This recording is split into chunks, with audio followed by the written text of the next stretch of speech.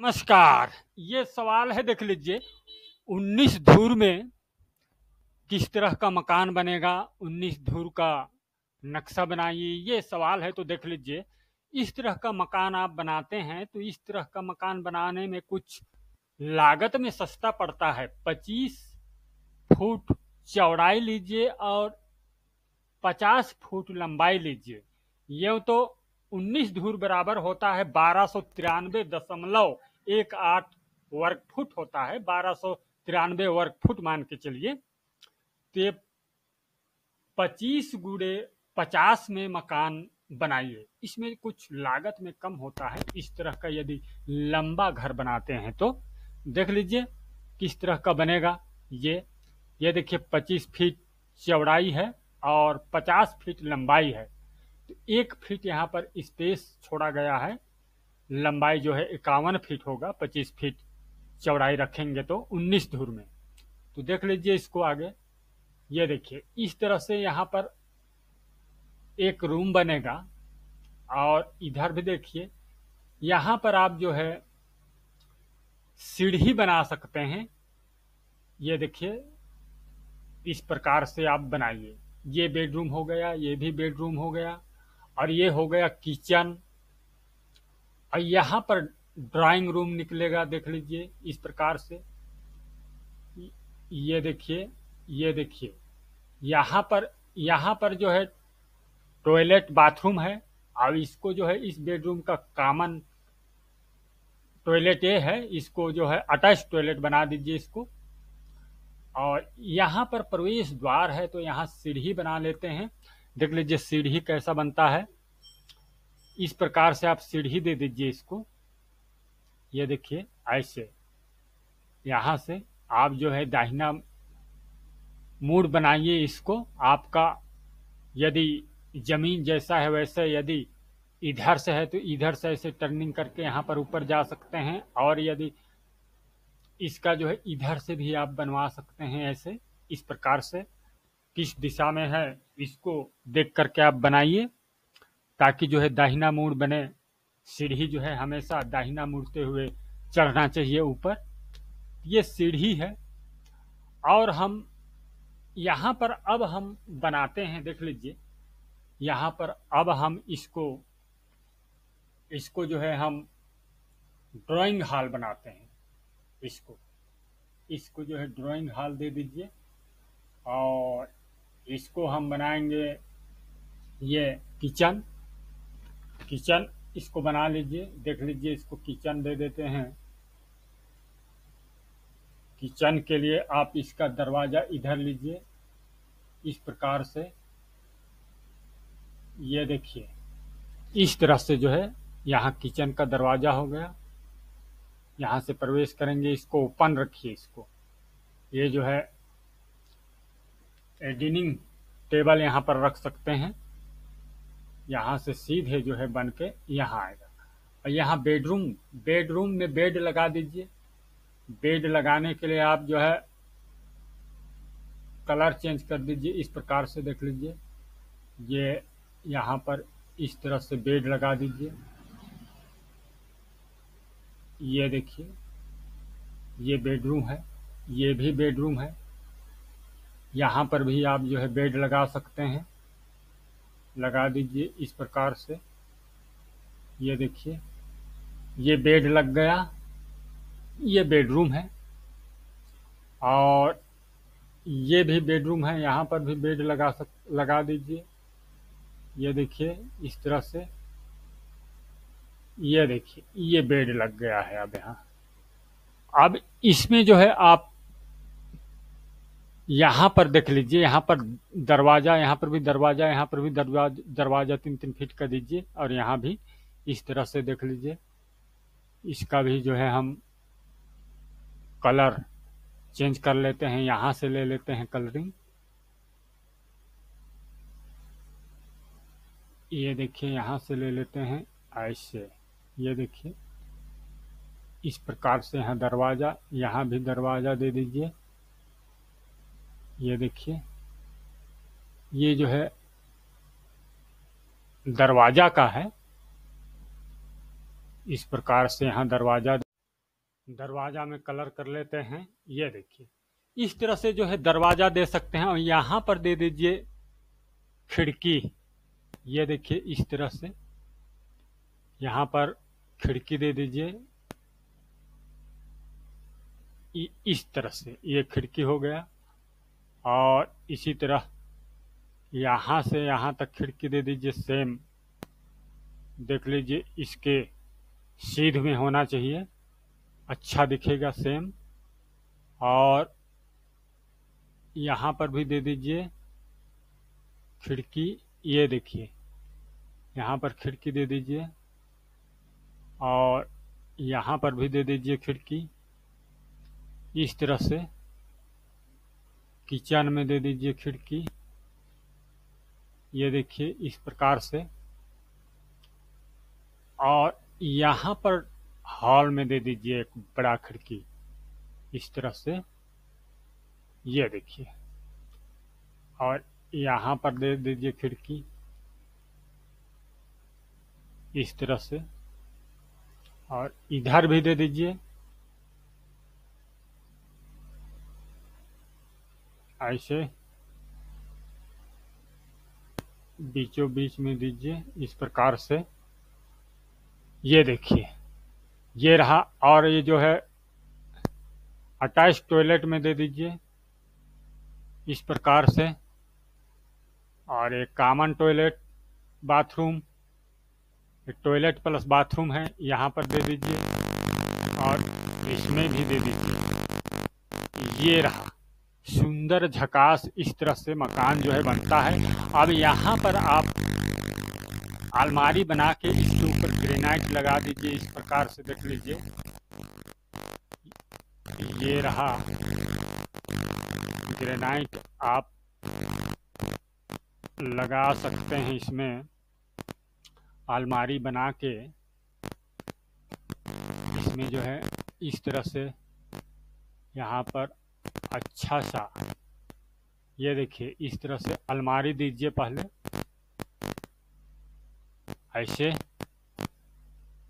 इस प्रकार से बनाते जाइए अलमारी। लगवा दीजिए। शानदार और सुंदर लगेगा। ये रहा। इस तरह से अलमारी बना करके इसके ऊपर में इसके ऊपर में ग्रेनाइट लगा दीजिए इस प्रकार से। ये देखिए, ये रहा ऐसे इस तरह से और इसका कलर चेंज कर दीजिए ऐसे ये देखिए, ये रहा ग्रेनाइट का कलर। ये देखिए, इस तरह से बहुत ही सुंदर किचन बना सकते हैं। इसमें लिख दीजिए, लिख देते हैं किचन।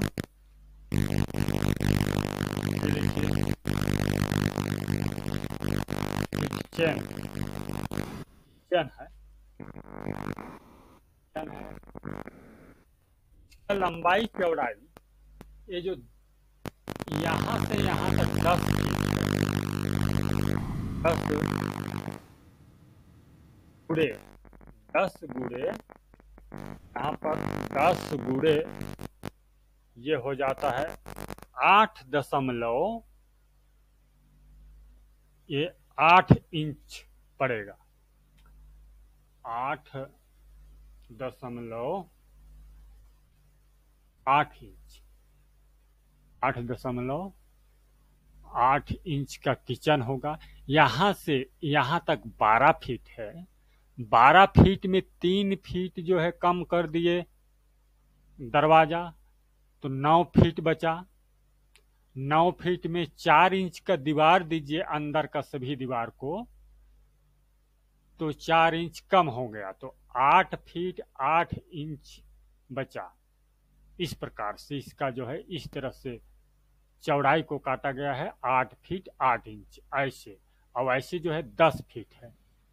ये, और यहाँ से यहाँ तक पूरा जो है, डाइनिंग टेबल लगा दीजिए यहाँ पर। इस तरह से ये देखिए, ये रहा डाइनिंग टेबल। बहुत ही शानदार लगेगा। ये डाइनिंग टेबल है। हाँ थोड़ा लंबा हो रहा है वीडियो।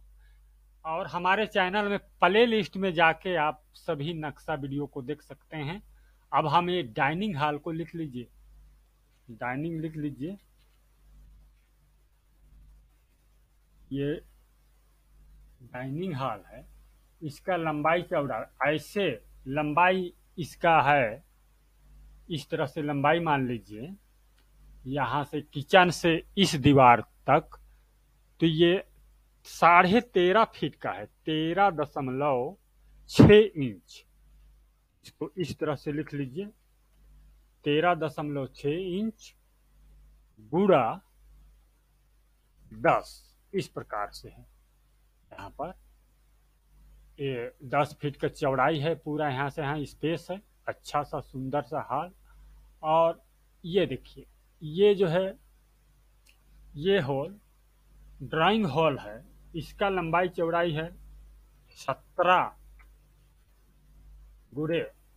ये सत्रह गुड़े तेरह फीट का है ये। सत्रह गुड़े तेरह का है ये। इस तरह से जो है सत्रह फीट है और ये जो है इस तरह से लंबाई को तेरह फीट काटा गया है। इसमें भी आप जो है टेबल लगा दीजिए यहाँ पर। अच्छा सा इस तरह से। ये देखिए, इस तरह से टेबल लगा सकते हैं यहाँ पर। शानदार। इस प्रकार से शानदार टेबल लगा दीजिए। ये देखिए, ये जो है ड्राइंग रूम है। इतना लंबाई चौड़ाई। इसको तो जान रहे हैं, इसका लंबाई चौड़ाई पूरा सीढ़ी रूम का, पूरा यहाँ से, इस दीवार से, इस दीवार तक और यहाँ से, यहाँ तक।